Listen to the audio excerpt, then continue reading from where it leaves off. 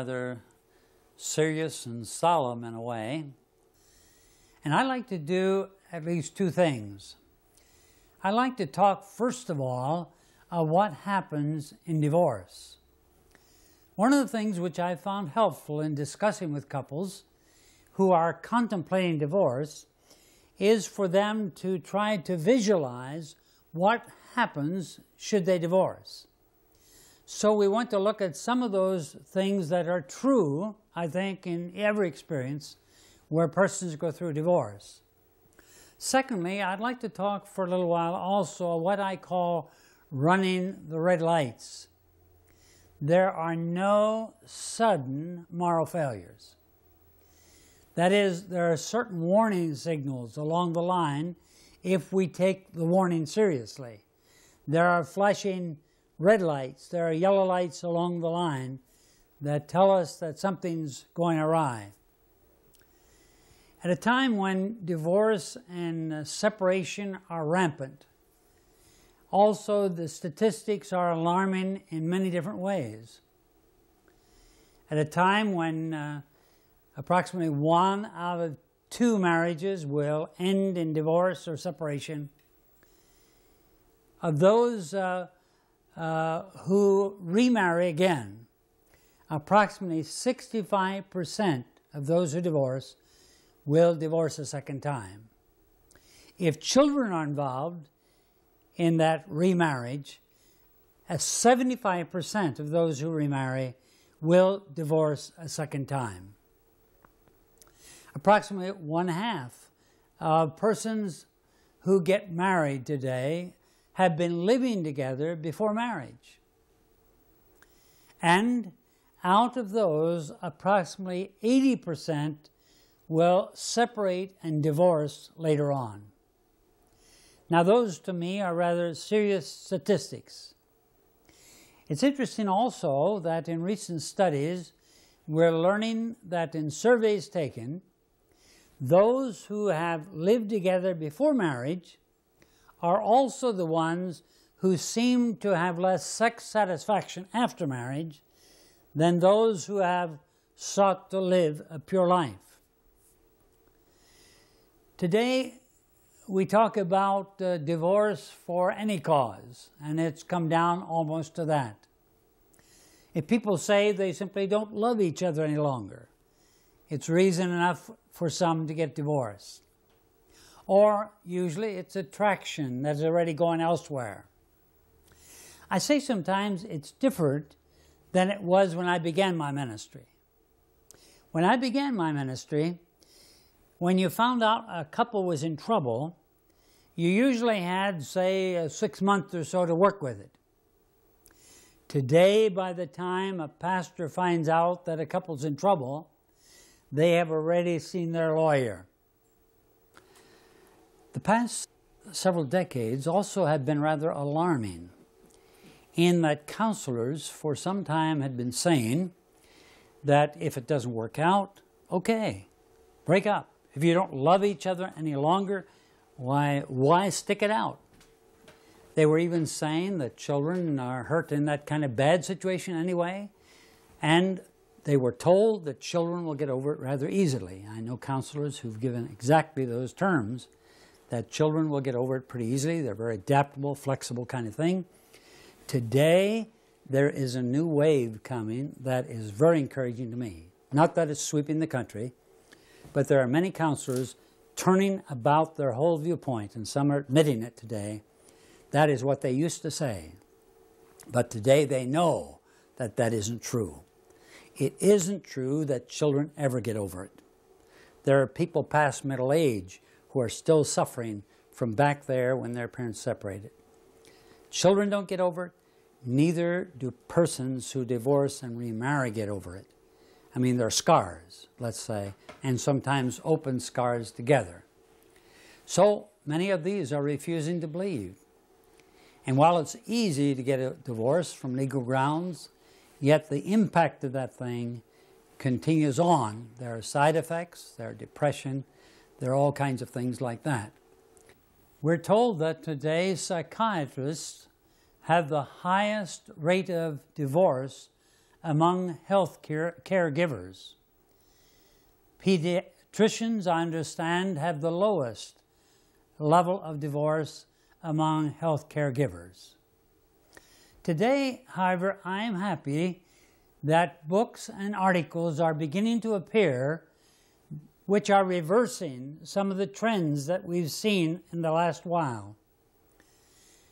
Trends that say, well, divorce, children will easily get over it.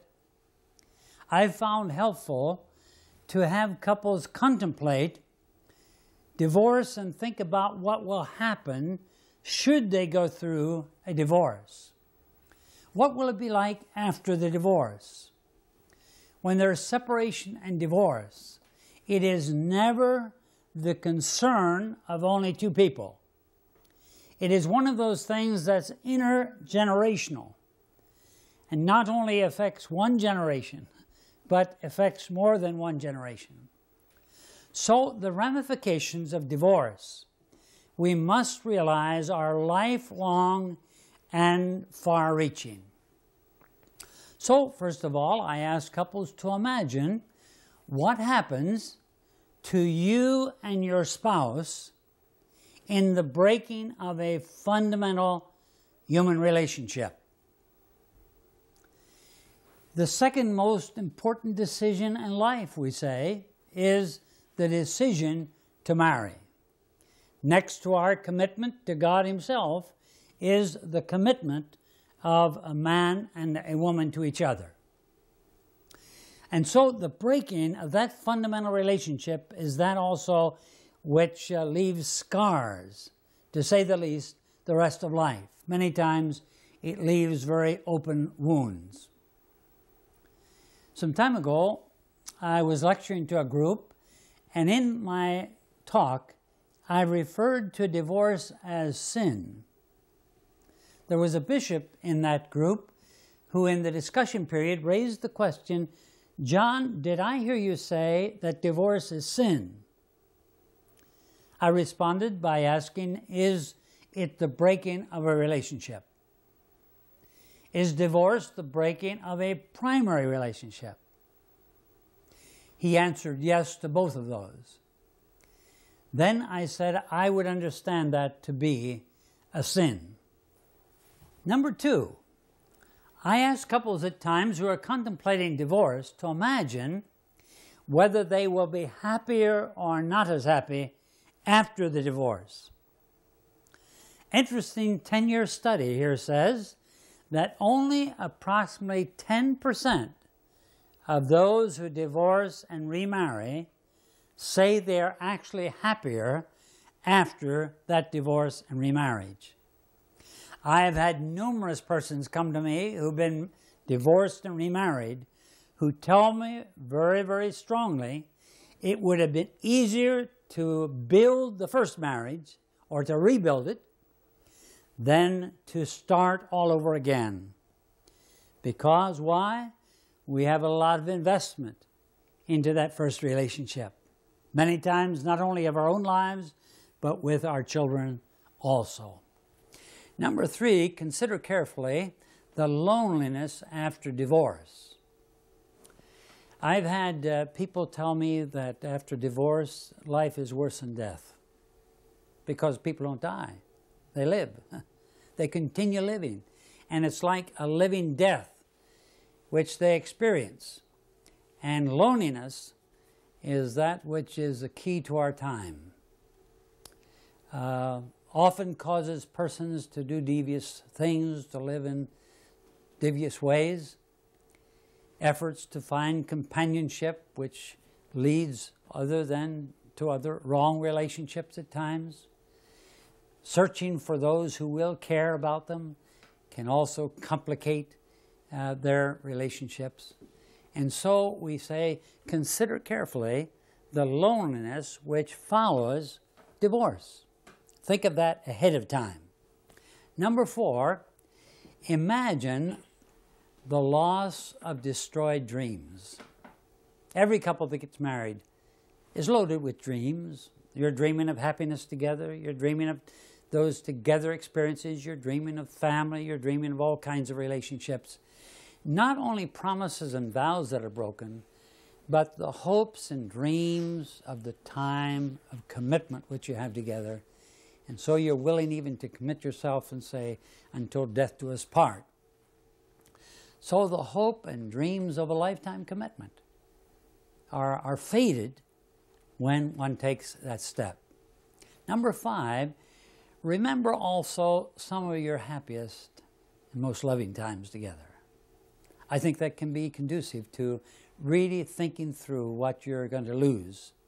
If you begin to think, yes, you have a lot invested in those years together. And when I think particularly of what's called the 20 year fracture today, think of people who, between 18, 20 years together, suddenly giving up at that point after they've invested so much in their relationship. That's extremely sad to me. Remember the times when you work through difficulties together and give you hope again for the new experiences, uh, no matter how difficult they are and which are ahead. Number six, imagine what will happen to children if they're involved in a divorce.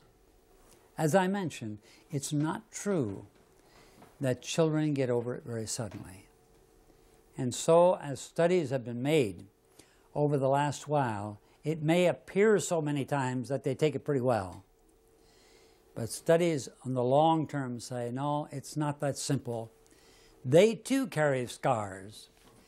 Studies, I said earlier, drop out of school, students, children from broken homes, much higher rate. Children carrying feelings of guilt. And if you read something along this line, you know that youngsters feel that some sense they're responsible also for the breakup. How parents in divorce situations begin to get on kids' backs, you know, and kids develop those feelings of guilt which they carry on. Sense that somehow the essentials in life are missing because I don't have a mom or dad, and they've given up on each other. Uh, I think of the long term results and the relationships, I say, of graduations, of reunions, of families, get together, weddings, all of these. And uh, although many may argue that children are better off with a divorce than to live in an unhappy home, yet the fact remains that a child is more flexible many times where things aren't going exactly right than they are when things bust up.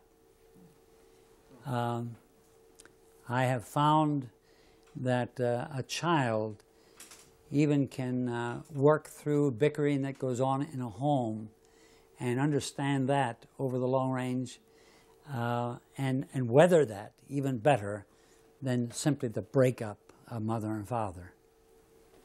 Then, too, think of the effect or imagine what happens to families themselves on both sides, both parents of those who break up, because these also are deeply involved. And the happiness of these parents depends so much also, or uh, is affected so much by those who are breaking up. Now and in years to come, there will be waves of remorse that reach out to all persons that are related to that kind of experience.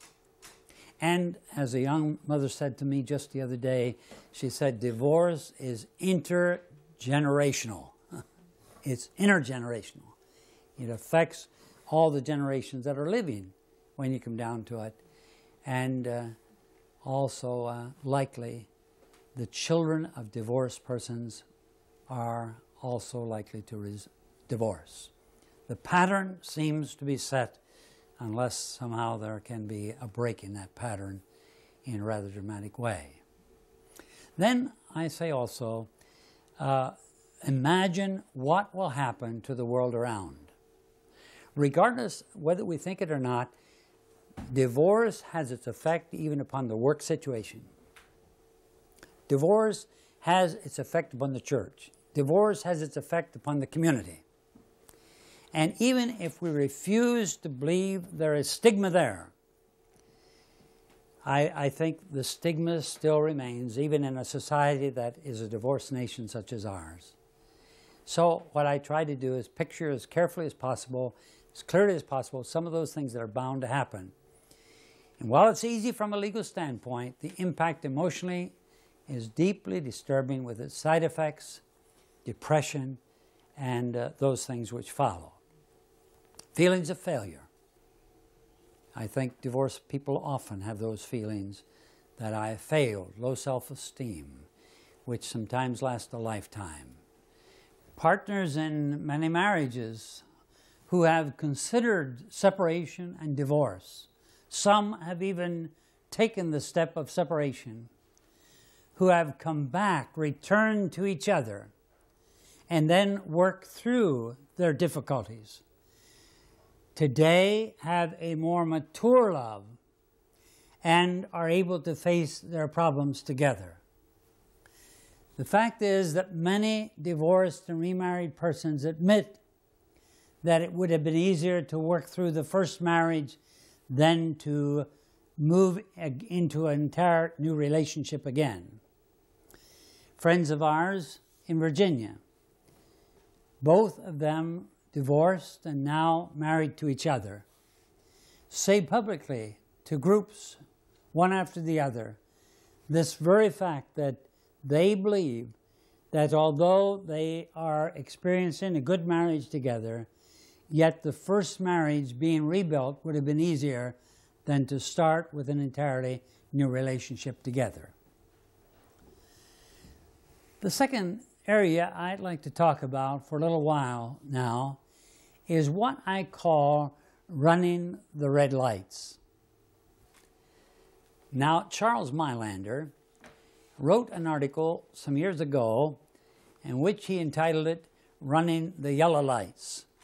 And that's where I got my idea to build on that a little. And I want to share it with you this afternoon using some of the illustrations, some of the points that Mylander himself used. I call them the red lights because I guess I'm inclined to take them even more seriously than yellow lights. Because all of them to me say, stop. Something's going on here that shouldn't happen. So let me go over these a little. Uh, I'm saying, again, that an adulterous affair or unfaithfulness does not happen all at once. There are steps that lead up to that moral failure. Uh, they go through predictable stages. There are warning signals along the line. Uh, number one is emotional delight outside of marriage that is not taking place within marriage. That is, emotional affairs often precede physical ones. This is what I call the conversation stage. Here are two individuals Perhaps they are working together at some place and uh, they begin the conversation stage because why? They're not doing much conversation at home. And so, what seems very innocent and enjoyable, suddenly infidelity begins to develop. And uh, the principle is that infidelity begins, you see, when we begin to feel nothing is wrong, particularly which I'm doing. We enjoy the talking, and we begin to feel that we have a lot in common. And maybe all we have in common could be a great loneliness. That's number one. Number two, beware when we look forward to the next time of talking together or even now giving each other a little hug. This is what I call the touching stage. One was the conversation stage, now it's the red light of the touching stage. You ignore it, and you're headed for collision. That is, here, when we think of that person, when we meet that person, you know, the heart jumps a little bit. We think of the other person when we're even off duty sometimes. And the principle is emotional infidelity precedes sexual infidelity. So that is that stage of the red lights. Number three, beware when you feel another meets your need. This leads to special times together now. You move beyond where maybe you're even doing things with another person you see outside the marriage. Sometimes even I've found this happening in a church committee. can happen there. I can give you illustrations if I would want to, where in a church committee, certainly suddenly people felt jives together and it went beyond the bounds. Here is what I would call the possessive stage, where the principle is deceit and dishonesty always precede the stage of infidelity. Where now we're sort of hiding, you see, a relationship which we have from our spouse. That is a real red flag. Number four, beware of undetected lust. Here is where now we develop a fantasy for another. We imagine perhaps even how happy we might be with this other person. And soaps today, it seems those illicit triangles on TV are that which feeds this kind of thing, particularly for women, and pornography certainly feeds it for men. And so they feed that kind of lust, which should be easily detected, but we let it pass over very easily. There's a sense in which, with this kind of lust brewing within, we may kind of, a man may kind of undress every woman he sees coming down the street. The principle here is that familiarity about happiness with another is a dangerous intersection I've called it a red flag, a red light, which, if one does not stop, will lead to the destruction and death of the marriage itself. Number five is diminishing respect for your spouse. Now, this is a more subtle one in a sense that we begin to feel that a basic need is not met in my life. Maybe it's a sexual need that our spouse isn't meeting or we don't feel we can communicate any longer, or we don't feel loved particularly at home, you see. One of these needs, it could be a multitude of them, aren't being met, and therefore there is really no hope for change. We don't see any hope for change. And uh, we get feelings, perhaps it isn't fair. You know, I'm caught. I'm uh, uh, caught in this relationship. She's cold. He that can't talk these kinds of expressions. And the principle here is that when there is losing respect for your spouse, this, the wise spouse will know it's time to take action. Whenever we sense we're just losing respect for each other or feel that we're treated unjustly, then it's time to begin talking, to take some action, to get some help. Probably by that time, some help beyond ourselves.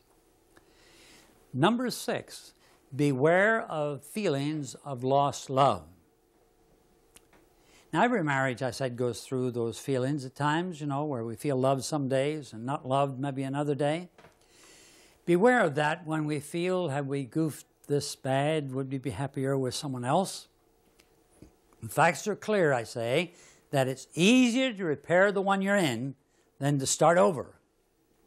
If you write down that principle clearly, and I think people are saying that more today than they ever said it. It's easier to begin. The principle here is that disillusionment drives a person to another if you let yourself live with that disillusionment kind of thing.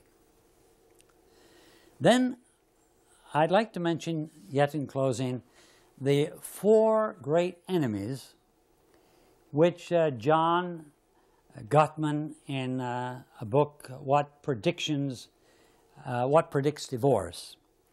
He said in studies of thousands of marriages over the years, they have come to the conclusion in their research that there are about four things, if you look at them carefully, predict divorce.